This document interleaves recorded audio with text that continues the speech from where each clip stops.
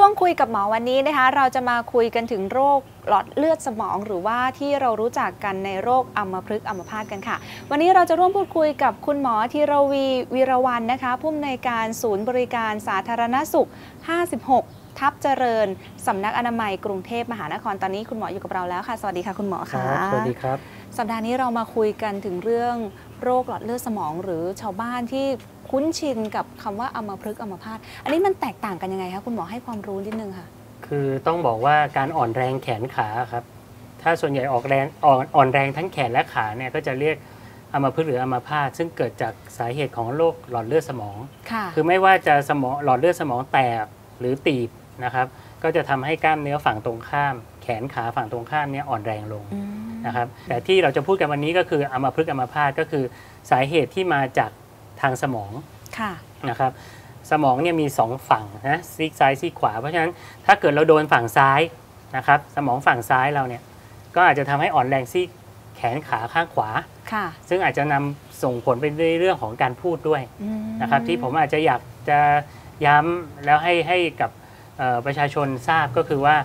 เมื่อไหร่สมองมีปัญหาด้านซ้าย ด้านซ้ายนะแขนขาจะอ่อนแรงข้างขวา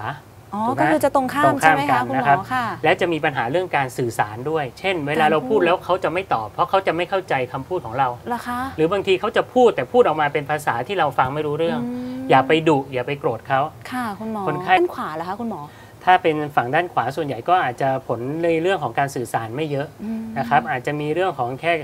การที่ละเลยด้านซ้ายค่ะคือเขาจะไม่รู้ว่าข้างเขามีแขนขาซ้ายอยู่ด้วย ไม่รู้สึกใช่ไหมคะอาการจะเหมือนไม่รู้สึกใช่ครับเอะะหนึ่งณมคือเขาชาด้วยแล้วสองอืมคือเขาก็รับรู้ว่าเขามีแค่ครึ่งขวาครึ่งเดียวอืมเพราะฉะนั้นเวลาเราเข้าหาคนที่เป็นอัมพฤกษ์อัมาพาตเนี่ยที่เขาอ่อนแรงซีกซ้าย เราควรเข้าด้านขวาค่ะคุณหมอนะเข้าด้านขวา แต่บางครั้งเราก็ต้องมาฝึกเข้าด้านซ้าย เพื่อกระตุ้นให้เขา ได้พยายามหันมาซีกซ้ายด้วย ถ้าเป็นโรคนี้ไปแล้วเนี่ยผมก็อยากให้พ่อแม่พี่น้องญาติหรือคนดูแลต่างๆค่ะต้องเข้าใจอืมเข้าใจคนที่เป็นนะครับ เพราะว่าหนึ่งบางทีเขารู้เรื่องแต่เขาพูดไม่ได้ค่ะหรือบางครั้งเขาอยากขยับแต่ขยับไม่ได้มอยากทำนู่นอยากทำนี่ทำไม่ค่ะได้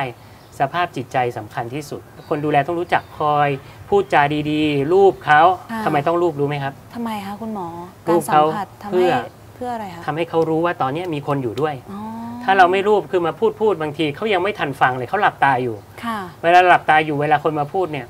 มันไม่เข้าสู่สมองอ่ามันไม่เข้าสู่ระบบประสาทเขาอืมเราต้องค่อยๆเรียกเขาตค่ะบตบตบหลาย ๆ อย่างเนี่ยคือพลังบวกที่จะเข้าไปทำให้คนป่วยเนี่ยฟื้นตัวได้เร็วขึ้น ส่วนการทำกายภาพแขนขาก็คือการขยับข้อต่อยกแขนอืมนะขยับศอกค่ะกระดกข้อมือ ปลายนิ้ว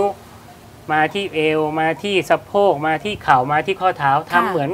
ปกติสำคัญเขาเรียกว่า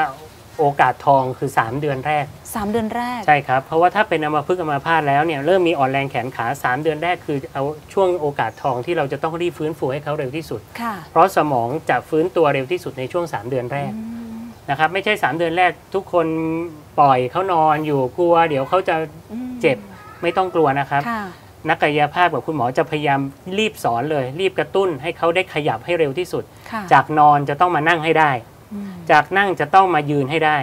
จากยืนจะต้องมาเดินให้ได้ ไม่ว่าจะใช้อุปกรณ์ช่วยอะไรก็ตามค่ะอย่าให้เขานอนอยู่กับเตียงนานๆถ้าสมมติเริ่มเห็นมีปากเบี้ยวอ๋อพูดเริ่มไม่ชัดค่ะอ่อนแรงแขนขารีบไปโรงพยาบาลภายใน 3 ชั่วโมง ถ้าเกิดมาช้าบางทีเราสลายริ่มเลือดไม่ทัน มันก็จะกลายเป็น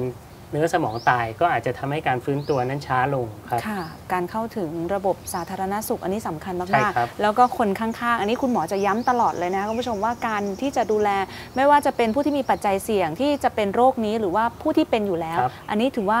เป็นอันดับหนึ่งเลยที่ต้องให้ความใช่สำคคัญรับคือเราไม่อยากให้คนไทยเป็นนะค่ะผมบอกได้เลยว่ามัน